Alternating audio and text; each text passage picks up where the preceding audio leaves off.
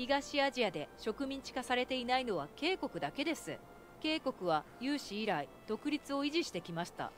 日本が渓谷を支配しようとした時も中国と協力して反抗を続けついには日本の支配を打ち破りました。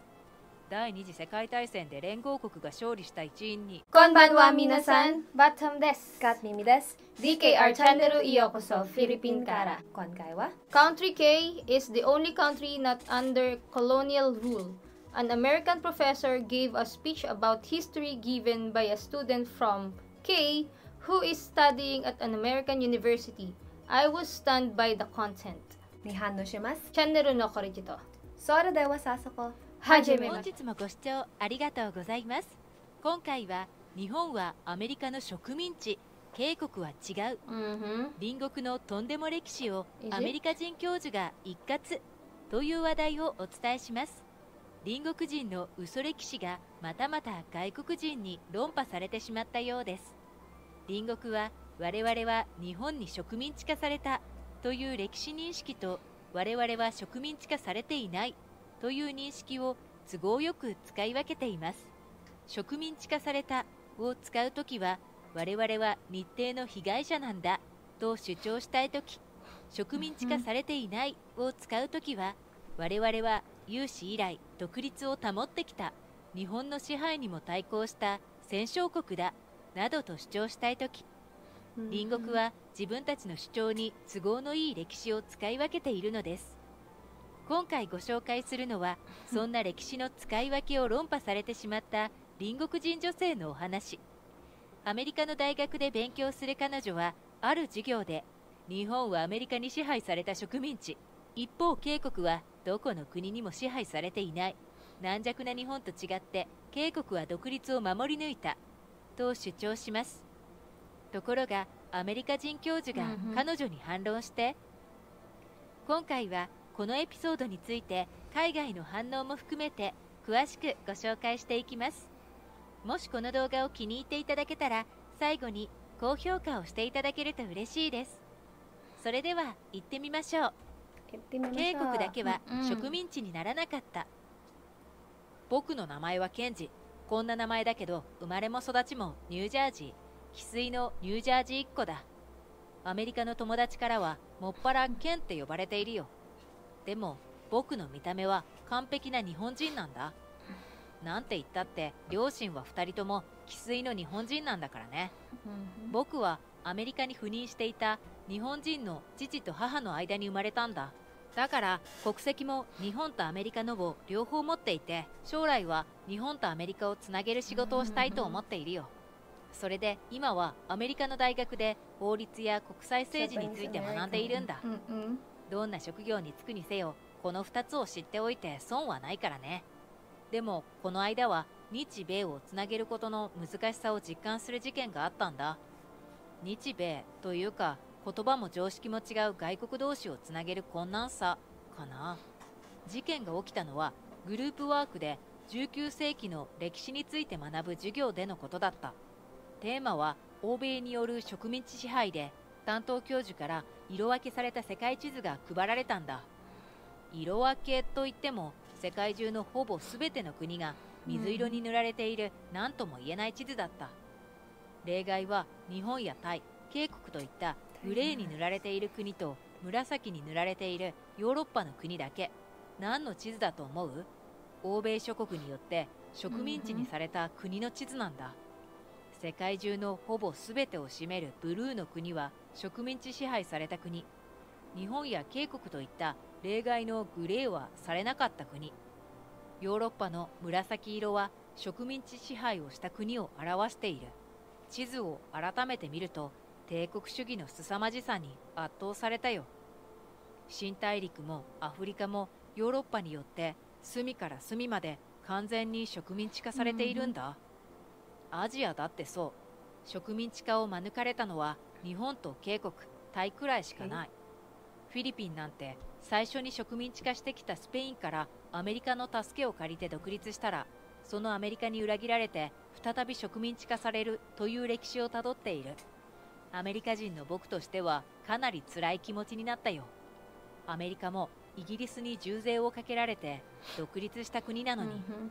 他国の独立には全く配慮しなかったんだそういう意味では僕の母国である日本が植民地化されなかったことは嬉しく思えた。Mhm. いつ欧米の植民地にされてもおかしくなかったのに僕の先祖たちは帝国主義の時代を懸命に乗り越えたんだからね。アメリカ人としての悲しい気持ちと日本人としての嬉しい気持ちで僕はなんだか不思議な気分になったよ。でもそんな感情に浸っていると隣に座っていた警国人留学生のソユンが唐突にこう言い出したんだ。先生日本の色は間違っています。日本は植民地化されなかったグレーじゃなくて植民地化されたブルーです。ってね。え何を言っているの？って思っちゃったよね?僕は中高と日本の学校に通ったけど日本が植民地化されたなんて歴史は一切習わなかったぞソユンの発言には困惑するしかなかった。でも彼女は教授に向かってこう説明したんだ。第二次世界大戦の結果日本は連合国の統治下に置かれました。1945年からの数年間日本を支配していたのはアメリカ軍です。アメリカの植民地になった日本はブルーに塗らなければなりません。いやそんなこと言ったらアメリカ軍が占領したイラクやアフガニスタンも21世紀に植民地化されたってことにならないか？イラクの治安維持には警国軍だって参加している。ソユンが言っているのは私の国は21世紀に他国を植民地化するような野蛮な国ですってことだぞ。その後も彼女は独演会を続けた。東アジアで植民地化されていないのは警国だけです。警国は有史以来独立を維持してきました。日本が警国を支配しようとした時も中国と協力して反抗を続けついには日本の支配を打ち破りました。第二次世界大戦で連合国が勝利した一因に警国の協力があったことは教授なら当然知っていますよね。日本と違って警国だけが独立を守り抜いたんです。僕はもうポカーンってしちゃったよ。いや君は歴史の話になるたびにいつも日本は警国を植民地にしてひどいことをしたって言ってたじゃないか。それなのに今度は警国は植民地になってないって。主張が二転三転しているよ。しかも挙句の果てにソユンは日本が欧米に植民地化されなかったのは運が良かっただけ。資源も何もない日本は狙われなかっただけ。なんて言い放ったんだ。この発言はさすがに見過ごせなかったよ。幼少期アメリカ人として過ごした僕だけど日本人としてのアイデンティティだって持っている。はっきり言って幕末の日本は植民地化される瀬戸際だった。幕府を支援するフランスと新政府を支援するイギリスによってね。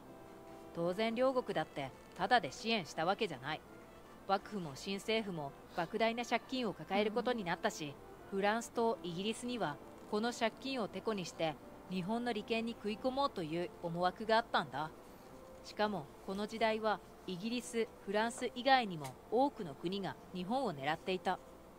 ドイツは北海道の植民地化計画なんてものすら作っている、日本は多くの国から植民地として狙われていたんだ。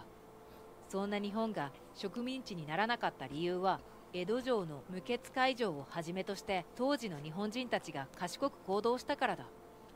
その努力をバカにするソユンの発言は許せるものじゃなかったよ。だけど僕がソユンに反論する前に教授が口を開いたんだにやりと笑いながらね。ソユン君の考えは傾聴に値するけど見方が偏っているようだね。そもそも植民地と軍事的な占領はまるっきり別物なんだ。ある国がどこかの国を植民地にした場合その支配を行うのは文官たちだ。一方占領では軍人たちが現地を支配する。定義からして日本は連合国に占領されたから植民地だっていうのはおかしいんだよ。この説明には僕も納得だよ。だってイラクもアフガニスタンもアメリカに植民地にされたわけじゃないからね。それに教授の説明によると日本が占領された時だって主権は日本にあったんだって。曰くアメリカ軍はポツダム宣言を保護にして日本を直接統治しようとしたけどその矛盾を日本側に突かれて間接統治を余儀なくされたらしい。結局日本は主権を制限されたけど日本政府が崩壊することはなかった。主権もあれば政府もある。このような状態の日本を植民地と呼ぶことはできないって教授は言っていたよ。それに教授はなぜ連合国は間接統治を受け入れたのかという疑問にも答えてくれた。当時のアメリカ軍は用心のために十分な戦力を日本に陸揚げしていてポツダム宣言の矛盾を指摘されてもそんなのはなかったことにできる実力があった。それでも日本の意見を受け入れたのは教授によると日本には何をするかわからない恐ろしさがあったからなんだそうだ。19世紀の終わりから日本は立て続けに中国とロシアを打ち破った。どちらも当時は日本の負けに終わると確実視されていた戦いだ。日本には欧米の予想を裏切った実績があるんだ。実際第二次世界大戦でも欧米は日本に驚かされ続けた。真珠湾攻撃だって当時の軍事的常識に反するものだしまさか航空機だけで戦艦が沈むなんて日本が実証するまで誰も当てにしていなかった。そんな日本を追い詰めすぎたら次は何をするかわからないそういう恐怖が当時のアメリカ人にはあったんだと思うよ。教授はそう語ったよ。その言葉に僕は数年前に高校の修学旅行で行った沖縄のことを思い出した。平和記念公園にある慰霊碑には日本各地から沖縄防衛のために集まった日本兵士の名前がびっしりと彫り込まれているんだ。祖国のために勇敢に戦った兵士たちの名前だ。彼らは兵士としてアメリカの攻撃を懸命に食い止めた。あまりの激戦によってアメリカ兵士に被害が続出しトルーマン大統領は戦いの計画を変更することになったほどだ。70年前に2つの母国が戦ったことは悲しく思う。でもその一方で僕は先祖の兵士たちがどちらも国のため全力を尽くしたことに深い尊敬の念を抱いたんだ。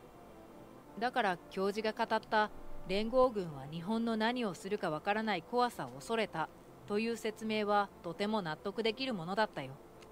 教授は警国についても語った。現在の警国政府が樹立されたのは1948年。アメリカの軍政が終わった後だ。だからそういう意味では警国は一度も他国に支配されていないと言える。でも独立したのは1945年でその後はアメリカに直接統治された。間接統治された日本は植民地なのに直接統治された警国は植民地じゃない。君の説には大きな矛盾があるよ。教授はそう語るとソユンを見つめた。まるで彼女を説得するような優しい視線だったよ、でもソユンの方は涙で目を真っ赤にしていた、論破された怒りなのか悔しさなのかそれとも自分の国は独立を守れなかったという悲しさから来たものなのか。授業が終わると彼女は逃げ出すようにすぐさま教室を出て行ったよ。これに懲りて僕に警国で教え込まれている嘘歴史について熱弁を振るうことはやめてくれたらいいんだけどな。ソユンが日本はこんなことをしたと言ってきて詳しく調べてみたらそんなことしていませんでしたなんてことがやたら多いんだよ。本当にもう大概にしてほしいよ。以上警告人女性が論破されてしまったエピソードでした。それではこの投稿に寄せられたコメントを見てみましょう。海外の反応。改めて帝国主義の時代のヤバさを実感したよ。自分の国を自分たちが統治するのって当たり前じゃないんだね。そもそもソユンはどうして日本は植民地だったなんて言い出したんだ。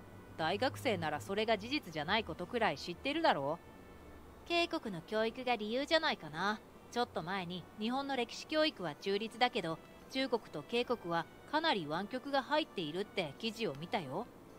結局のところ彼女は日本が嫌いだからだよ。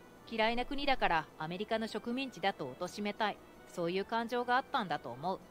沖縄の戦いでは2万人のアメリカ兵が犠牲になり総毛率は40%にも達した。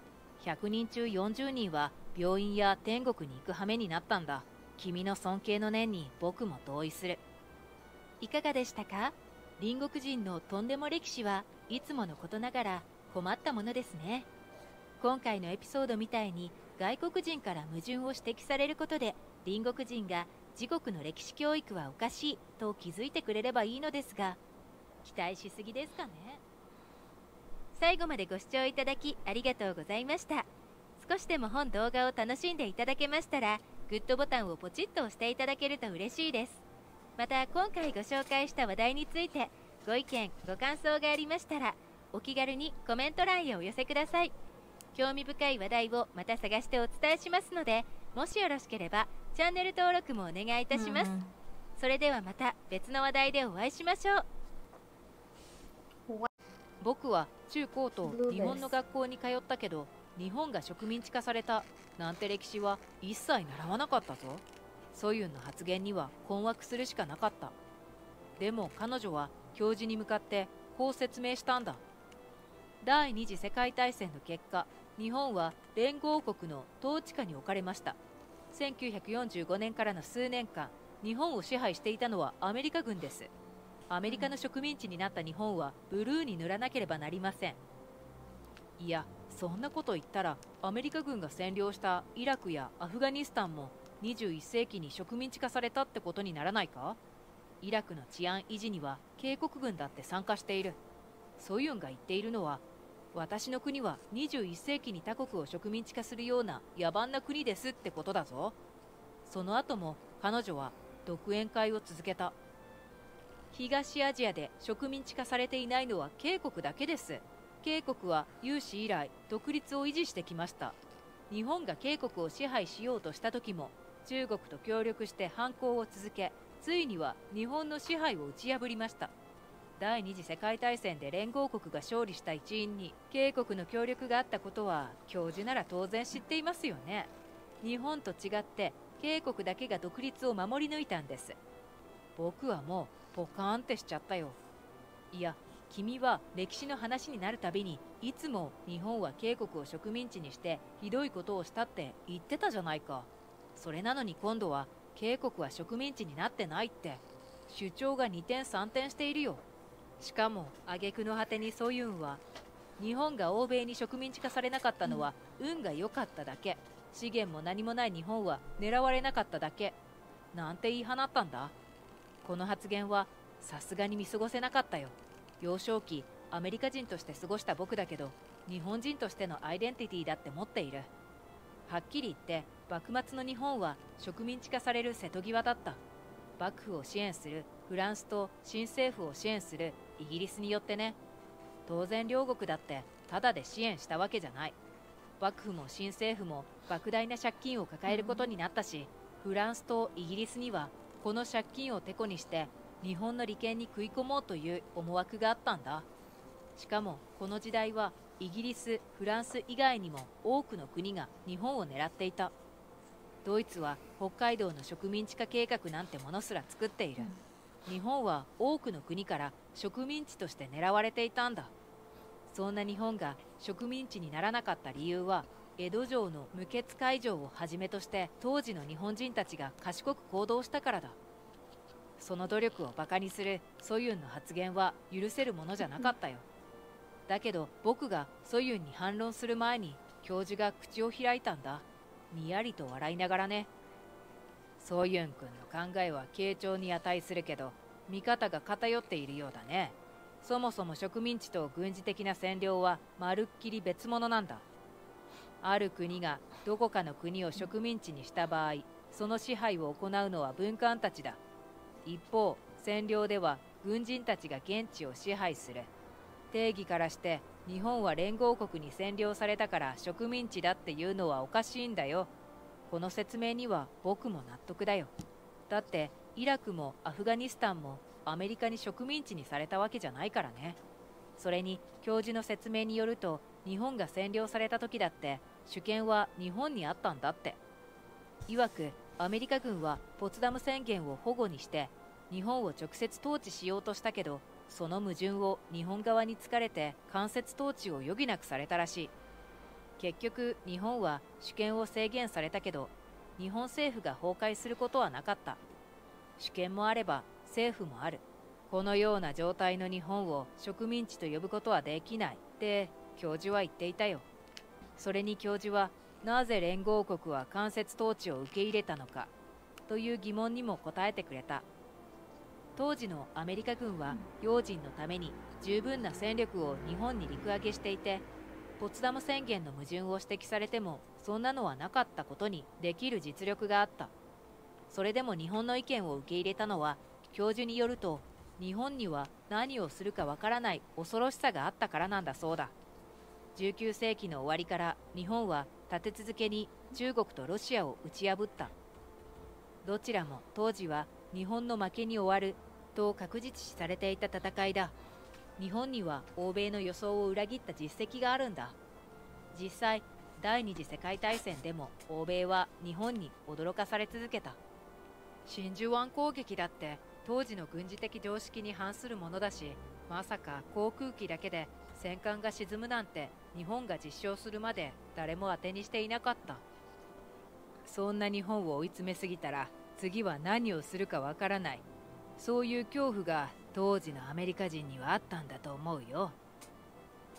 教授はそう語ったよ。その言葉に僕は数年前に高校の修学旅行で行った沖縄のことを思い出した。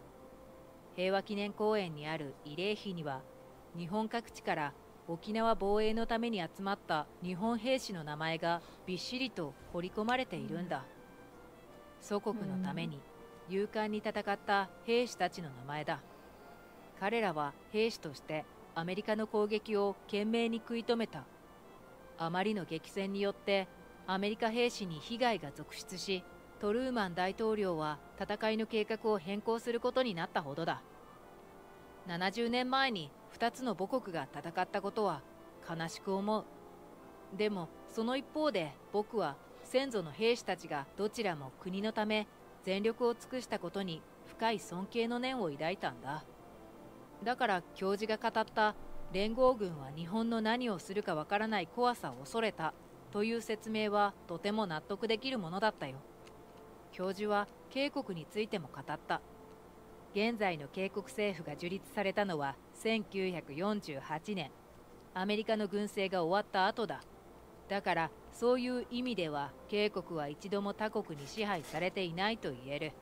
でも独立したのは1945年でその後はアメリカに直接統治された。間接統治された日本は植民地なのに直接統治された警国は植民地じゃない。君の説には大きな矛盾があるよ。教授はそう語るとソユンを見つめた。まるで彼女を説得するような優しい視線だったよ、でもソユンの方は涙で目を真っ赤にしていた、論破された怒りなのか悔しさなのかそれとも自分の国は独立を守れなかったという悲しさから来たものなのか。授業が終わると彼女は逃げ出すようにすぐさま教室を出て行ったよ。これに懲りて僕に警国で教え込まれている嘘歴史について熱弁を振るうことはやめてくれたらいいんだけどな。ソユンが日本はこんなことをしたと言ってきて詳しく調べてみたらそんなことしていませんでしたなんてことがやたら多いんだよ。本当にもう大概にしてほしいよ。以上警国人女性が論破されてしまったエピソードでした。それではこの投稿に寄せられたコメントを見てみましょう。海外の反応。改めて帝国主義の時代のヤバさを実感したよ。自分の国を自分たちが統治するのって当たり前じゃないんだね。そもそもソユンはどうして日本は植民地だったなんて言い出したんだ。大学生ならそれが事実じゃないことくらい知ってるだろ警国の教育が理由じゃないかな。ちょっと前に日本の歴史教育は中立だけど中国と警国はかなり湾曲が入っているって記事を見たよ。結局のところ彼女は日本が嫌いだからだよ。嫌いな国だからアメリカの植民地だと貶めたい。そういう感情があったんだと思う。沖縄の戦いでは2万人のアメリカ兵が犠牲になり総毛率は40%にも達した。100人中40人は病院や天国に行く羽目になったんだ。君の尊敬の念に僕も同意する。いかがでしたか？隣国人のとんでも歴史はいつものことながら困ったものですね。今回のエピソードみたいに外国人から矛盾を指摘されることで隣国人が自国の歴史教育はおかしいと気づいてくれればいいのですが期待しすぎですかね？最後までご視聴いただきありがとうございました。少しでも本動画を楽しんでいただけましたらグッドボタンをポチッと押していただけると嬉しいです。また今回ご紹介した話題についてご意見ご感想がありましたらお気軽にコメント欄へお寄せください。興味深い話題をまた探してお伝えしますのでもしよろしければチャンネル登録もお願いいたします、それではまた別の話題でお会いしましょう This um, topic is all about history again, and when it comes to this kind of video, we always uh, share to you our ideas. So let me ask you, Batam, do you like history when you were still a student or Yes. studying? Yeah. You like it? Yes. Yeah. So what can you say about this video today?